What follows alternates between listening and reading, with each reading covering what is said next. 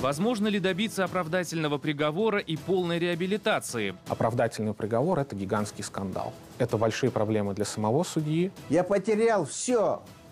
Жену, сына, отца. Как будто у нас не может быть ошибок. Да? У нас не, как будто у нас не может быть э, э, незаконно осужденных. Приходите, когда оживете. Жители страны случайно узнают, что по документам мертвы. Как такое возможно и кто должен ответить за чудовищную ошибку? Мой папа говорил, что это не он, на что патологоанатом тогда сказал, ну, у меня другого трупа нет. Вот здесь все бирочки, все написано, все типа соответствует. Когда человека признают умершим, вместо него хоронят кого-то другого, и представить себе страдания семьи очень сложно. На вопрос, как так оказалось, что клиент мертв, ответа мы не получили. Помогает ли огласка и общественный резонанс добиться справедливости в частных историях? Прошло сутки от момента его опубликования его так называемой акции до заведения дела. Я думаю, что это вряд ли совпадет. Ну, мыслимо ли дело? Антифашистская статья. Я говорю, сынок, не волнуйся, все будет хорошо. Полное лишение, по сути, возможности дальше существовать в профессии, которую ты отдал полжизни. В материалах дела видно, что поступил некий донос. Меньше половины процента. Именно столько оправдательных решений выносят российские суды. А после срока такие решения практически не пересматриваются. Но есть прецедент. Пенсионер из Уфы 62 года доказывает свою невиновность, 15 из которых отсидел за решеткой. Он требует оправдать и полностью реабилитировать за покушение на убийство девушек, которое не совершал. Если ему удастся, эта история может подтолкнуть судебную систему к изменениям. Я сегодня вынужден этот, объявлять голодовку. Больше никто не принимает. Умру я вот здесь. Вы ждете моей смерти? Тогда я умру здесь. С такими лозунгами три года назад к зданию прокуратуры Башкирии вышел пенсионер Фаткула Исхаков. Точнее, подъехал. Все эти кричащие надписи он разместил на своем стареньком автомобиле. Больше 62 лет он добивается оправдательного приговора за преступление, которое не совершал. Его обвинили в покушении на убийство двух девушек. Меня били, заставляли подписывать протокол. Я не подписывал, выдержал. По словам Фаткулы Бадрединовича, его оклеветали. Исхакова, которому на тот момент был 21 год, посадили на 15 лет. С первого дня заключения Фаткула стал писать прошение об отмене приговора, но в ответ получал лишь отписки, типа «приговор вынесен верно». Настолько было это, это сфабриковано, любой простой человек, просчитав, должен был понять, что это преступление не я совершил. Я всегда ждал я ответа положительный, разберутся. За это время умерла беременная жена вместе с нерожденным ребенком, мать, а слеп отец. Ужасно это, понимаете? Я потерял все. Фаткулат сидел положенный срок, а когда вышел, решил продолжить борьбу, очистить свое имя и добиться полной реабилитации. Но даже показания свидетелей, признавших, что оговорили Исхакова, новые данные судебно-медицинской экспертизы не смогли побудить следственные органы возобновить дело. Им сверху дано этот, э, указание негласное не допустить дело до суда. Вот такое хамство, такое преступное отношение человеку. Сидят мертвые души. Не помогло даже то, что в 2012 году объявился и признался в содеянном настоящий преступник. Им оказался односельчанин Фаткулы. Мужчина не выдержал мук совести, даже извинился перед Исхаковым, но годы за решеткой не вернуть.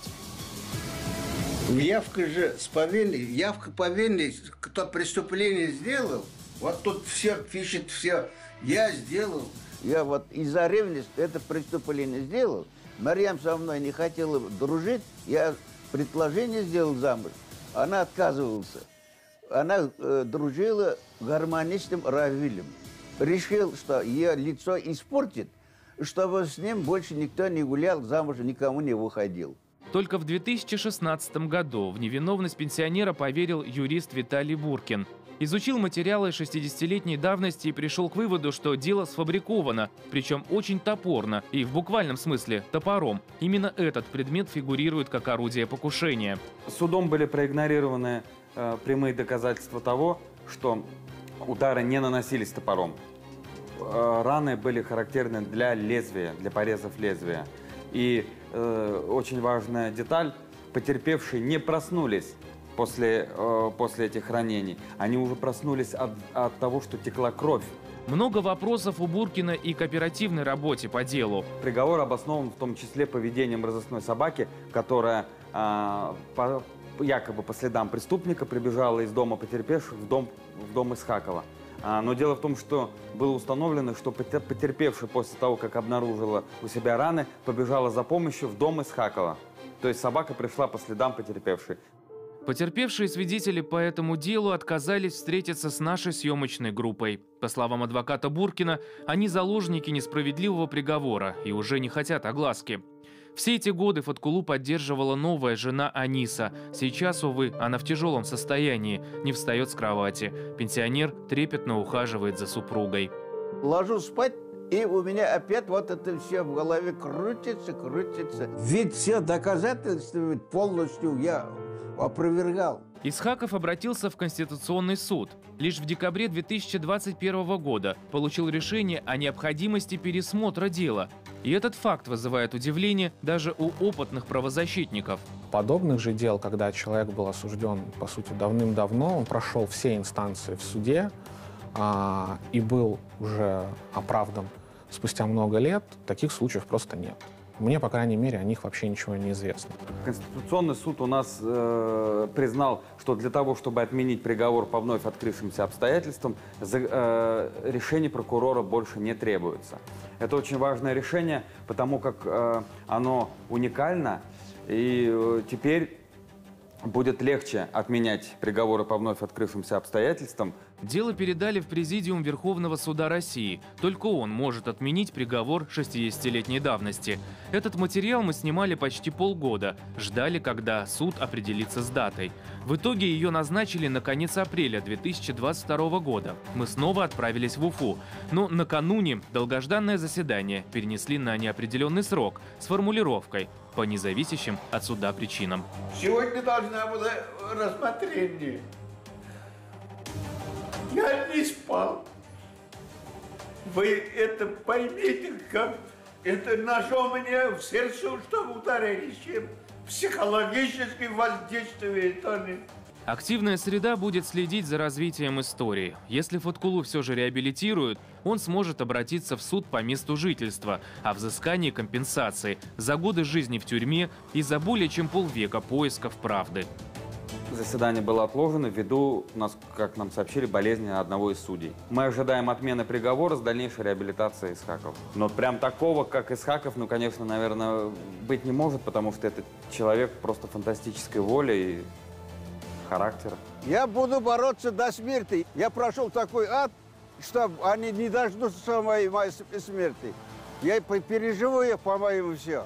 Я не умру, пока меня это не восстановит. А ведь могли и казнить. С начала 60-х и до конца 80-х годов в Советском Союзе из-за более мелкие преступления могли назначить высшую меру наказания.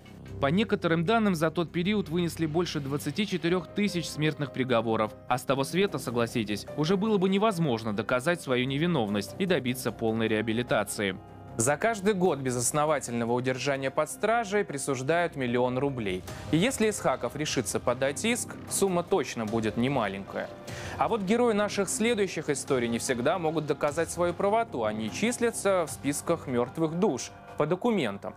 Что это? Ошибка системы, безалаберность чиновников или злой умысел? Живые граждане узнают о своей смерти, когда перестают получать пенсию, их не берут на работу или, как жителю Железногорска, отказывают в ипотеке. Александр Генеборг мечтал об уютной квартире для семьи, а попал в бюрократический круговорот, чтобы разобраться, кто отправил его в список умерших. Оказалось, произошел технический сбой в банке. Без суда и вмешательства прокуратуры удалось перепроверить информацию в госорганах, и уже через пару недель семья оформила ипотеку в другом месте. В этой истории разобрались быстро. А вот бывший полицейский из Пермского края узнал, что больше не имеет права на пенсию по инвалидности из-за смерти. Его лишили основного дохода в 14 тысяч рублей. Это Александр Трошков узнал на кассе в магазине, когда не смог расплатиться за покупку. Вместе с женой они обратились в банк, а там ответили – клиент мертв. Дело в том, то, что с этой пенсии у него вычитают еще алименты на двоих несовершеннолетних детей – то есть поэтому они также лишились этих денег. После поднятой в интернете шумихи оказалось, что умер на самом деле однофамилец. Вину за несвоевременную выплату в пенсионном фонде признали, и только. А ответственность за страдания клиента нет. Сейчас Трошковы подготовили документы в суд на возмещение морального ущерба в 100 тысяч рублей. Сказали, что сотрудник, который понес эту ошибку, был дисциплинированно наказан. Ну, то есть этим самым они признали свою вину. Здесь нужно, наверное, это э, больше доказательственная проблема, доказать, почему именно такой объем, почему такие суммы запрашиваются, да, из суммы на возмещение. Именной венок, крест с табличкой на могиле, прощание с родственниками – Собственные похороны пережил 79-летний житель Солнечногорска в 2021 году. Точнее, он даже не знал о том, что его гроб закапывают близкие и продолжал спокойно принимать лекарства на больничной койке после инсульта. Пенсионера из Подмосковья объявили мертвым сотрудники больниц. Мы находимся на кладбище в городе Долгопрудный. Здесь похоронен Васильев Григорий Михайлович, 79 лет. Я проснулся от маминых криков, от того, что... Потому что это было 7 утра. И она в истерике просто прибежала ко мне и сказала, что все, папы больше нет. Очень тяжело, конечно. Позвонили из больницы и попросили забрать тело. Уже на месте родные не сразу поверили, что это их дедушка. Мама мне написала, что Варя – это жуть, он на себя совершенно не похож. Мой папа говорил, что это не он, на что патологоанатом тогда сказал, ну, у меня другого трупа нет. Вот здесь все бирочки, все написано, все типа соответствует. Изменения патологоанатом объяснил так. После инсульта, кровоизлияния в мозг и вскрытия люди иногда меняются до неузнаваемости. А главное, документы ведь подтверждают факт смерти. Дети почившего Григория Васильева организовали похороны, позвали всех родственников. Потом пошли, поехали на поминки в Зеленоград. В Зеленограде э, помянули. А, ну, все прошло по традициям, так сказать. А через пару дней дедушка ожил. Они нам прислали в подтверждение фотографию, что это он. Мы начали разбираться. Родственники того мужчины, с которым его перепутали, который на самом деле умер, а им сказали, что... Позвонили, сказали, что лечение окончено. Вы можете приезжать и забирать своего э, родственника. Они приехали и на каталочке им вывозят моего дедушку. Они говорят, это не наш. Я говорю, как это ваш? Мы сейчас будем прокуратуру вызывать. Оказалось, что в палате неврологического отделения лежали два пенсионера, у которых были сложности с речью после инсульта. По какой-то причине медсестры поменяли их местами, а документы нет. Но он нас узнал, он заплакал. А, ну, вообще был, конечно, тяжелый такой. Ну, это и приятный, и тяжелый момент. Бабушка сказала, что вот ты думал, от меня свинтишь, короче. Нет, говорит, никуда ты от меня не денешься. Вот. И я тебе, говорит, все равно достану. Вот. Бабушка, ну, конечно, она была рада. Отправить человека на тот свет легко, а доказать, что он жив, уже не так просто. У нас в стране, если вдруг вас признают мертвым, а вы не умерли, есть три способа, как вы можете восстановиться обратно в живых. Это либо вы сами идете в суд и говорите, я живой, восстановите меня, и там проходит судебное да, разбирательство. Либо больница, либо прокурор. По свидетельству о смерти дедушку даже не могли выписать из больницы. Документы восстанавливали через суд. Заведено уголовное дело по статье «Халатность». И оно сейчас все еще продолжается, и, к сожалению, его пытаются закрыть. Сейчас первоначальная, конечно, задача идет именно уголовное дело довести, чтобы ну, как бы виновные ну, как бы хоть кого-то наказать именно в плане ответа, ну, чтобы люди ответили за эту ошибку. Вот дедушка, фотография сделана, например, на неделю назад улыбается даже. Это небольшое видео, где он занимается терапевтом. Он потихонечку ходит. Ну, сильно далеко он не может уйти. Неважно, как человека признали мертвым. В любом таком случае придется доказать, что он жив. Зачастую это возможно лишь через суд. Кстати, узнать свой статус и понять, к какому миру вас отнесла бюрократическая машина, можно в ЗАГСе или МФЦ. Конечно, по закону можно рассчитывать на компенсацию. Сумма зависит от мастерства юриста. Упростить процесс помогло бы страхование профессиональной ответственности, например, от врачебной ошибки. Дело в том, что такое страхование давно существует. Это страхование позволяет возместить ущерб, который своими действиями врач нанес пациенту. Во всем мире врачи страхуют свою ответственность, а за рубежом даже не только врачи, но и медсестры. Под страховой случай попадает все. Неправильный диагноз врача, судебная ошибка и даже опечатка, из-за которой человека признали умершим. Как ОСАГО.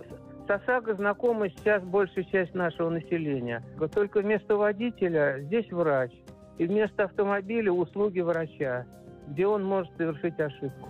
К сожалению, в нашей стране не принято страховать возможные профессиональные ошибки, как и внезапное получение низкого дохода.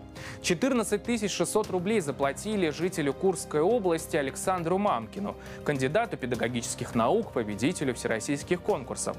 И эта сумма ниже средних показателей по региону. Оскорбленный педагог решил устроить перформанс, стал выкладывать в сеть то, как он выживает на честно заработанные деньги. Это понравилось не всем, и на Александра практически сразу завели дело об экстремизме. Картофельная котлета, два зубчика чеснока, 15 граммов хлеба. Обед кандидата педагогических наук при зарплате 14 600 рублей.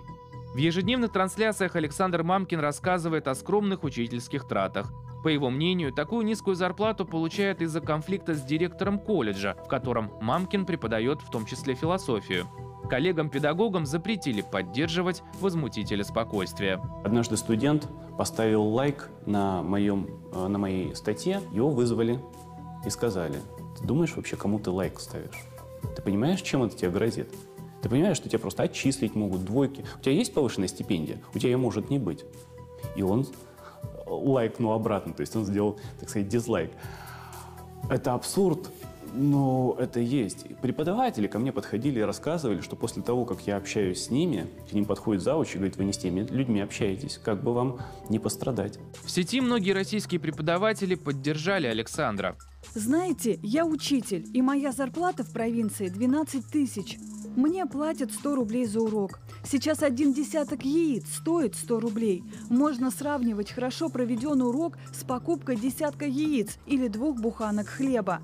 У меня похожая ситуация, только с тренерской работой. Получаю полставки 6500 за работу с детьми-инвалидами. Мой директор дал совет. Если человека что-то не устраивает, он пишет заявление на увольнение. Средняя зарплата тренера у нас 41, а реальные доходы выросли на 101%. Моя ЗП за год выросла на 109 рублей. Вопрос, как переехать в Россию, о которой говорят на телевидении. Но были и те, кто посчитал, что Мамкин недостаточно много работает, и если ему не хватает на жизнь, пусть ищет вторую работу. Ведь говорят же, есть масса прекрасных мест, где можно сделать это быстрее и лучше, тот же самый бизнес. Вот почему-то никто не спрашивает у министра, где он подрабатывает в свободное время. Учителя работают на полторы-две ставки, то есть это две смены.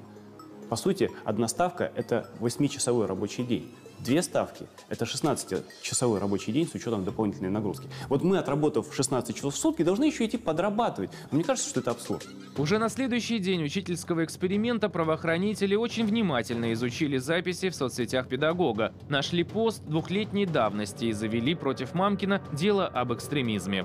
Управление по противодействию экстремизму в МВД и у этого управления есть, соответственно, свои филиалы по всей стране. Везде сидят оперативники э, вот этого управления, которые должны показывать статистику, как они борются с экстремистами. Наказать педагога решили, по сути, за антифашистскую статью. Александр Мамкин пытался отстоять старое ветеранское кладбище в Суджанском районе, границы которого стали разрушать, расширяя песчаный карьер. Здесь срок привлечения к административной ответственности год по этой статье. Но у нас правоприменители трактуют это так, что если картинка остается в интернете, где-то глубоко-глубоко в ваших постах, где ее вы сами еще с трудом найдете, то до тех пор, пока она висит там, то срок, э, привлек... срок привлечения течь не начинает. Получить даже административное наказание по статье за экстремизм для любого педагога – крест на карьере – Первым разглядел абсурдность обвинения депутат местного отделения Коммунистической партии Александр Панарин. Я считаю, что на мой взгляд, подчеркну, все эти действия власти и э, ситуация с Александром взаимосвязаны.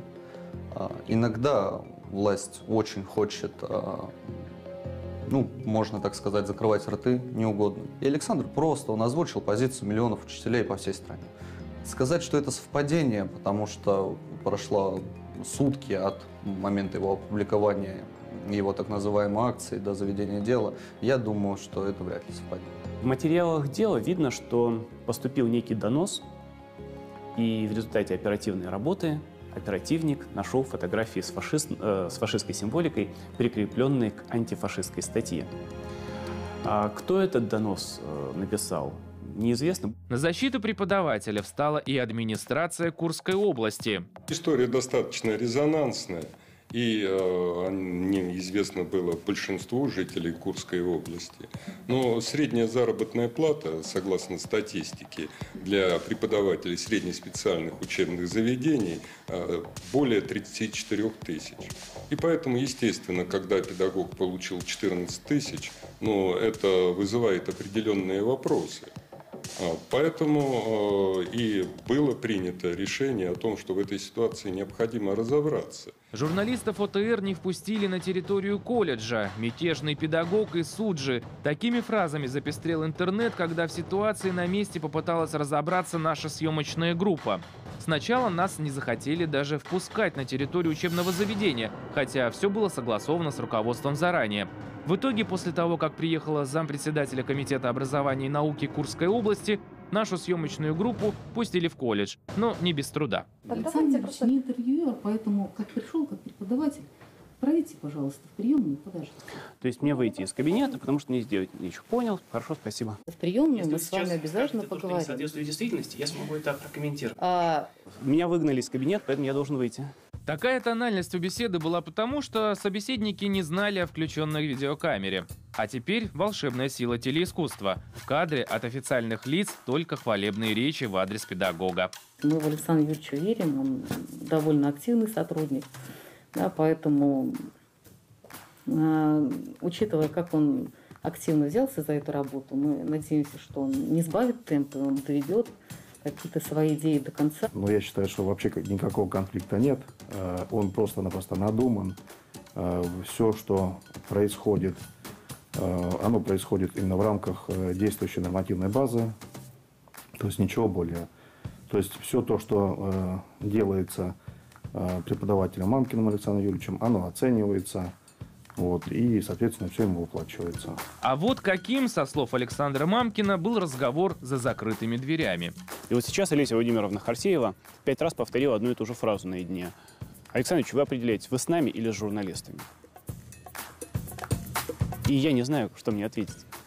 С одной стороны, я, безусловно, с Комитетом образования и науки. Я с педагогикой. С другой стороны, на мой взгляд, работа без освещения в средствах массовой информации приводит коррупции, произволу и фактически террору. Все эти неприятности помогает преодолевать мама Александра. Она говорит, что сын родился с обостренным чувством справедливости. Я говорю, сынок, не волнуйся, все будет хорошо. Ну, ну, не, ну не все же такие люди, э, которым выгодно талантливого э, педагога убрать.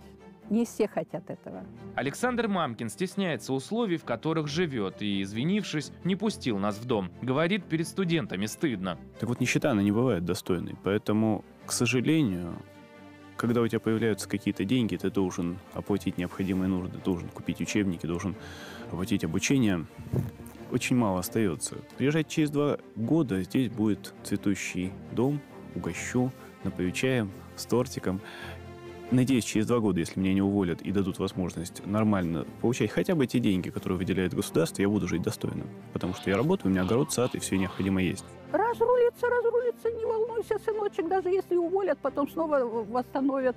А у меня пока пенсия есть, обойдемся. Борьба Александра Мамкина, а он, кстати, в прошлом чемпион России по рукопашному бою, не прошла даром правительстве Курской области отметили активность педагога и даже предложили ему должность методиста в Комитете образования. Если э, большинство поддержит э, часть или все предложения, которые будут внесены Александром Юрьевичем, то, естественно, они войдут в типовые рекомендации и будут в той или иной степени учитываться каждым учебным заведением. Получил даже больше, чем надеялся. То есть, во-первых, если брать сверху вниз, то Курская область пообещала, что поддержит законопроект о повышении оклада. На уровне области было принято решение пересмотреть систему стимулирования педагогов, по крайней мере СПО, и сделать ее более справедливой, провести круглый стол с экономистами, э, политиками и педагогами то, что я пытался добиться много очень времени. Дело в отношении Александра Мамкина прекратили. Общественная поддержка помогла сельскому педагогу вернуть зарплату и доказать невиновность.